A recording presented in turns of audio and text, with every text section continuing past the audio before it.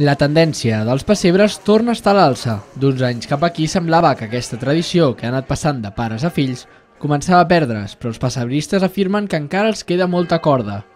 La Fira de Pessebres d'Olot ha ocupat la plaça d'Esteve Ferrer i els voltants, recuperant l'essència d'una tradició que es manté ben viva a la Garrotxa. Aquí a Olot generalment es ven molt bé el dimoni. Per fer la zona de l'infern, bueno, suposo que el tema muntanya els hi tira més. Aquí es ven molt més que ciutat, el dimoni. Generalment sempre són les mateixes, només poden canviar algun tipus quan fan els típics caganers de fang, que van traient modernitats així, però l'altre bàsicament sempre és el mateix. Ha estat ara uns anys que semblava que a la gent li costava, però ara tornen a començar un altre cop així, a fer bastant el pessebre. Ara tiren més el plàstic, que abans era més el fang, però bueno, es va fer.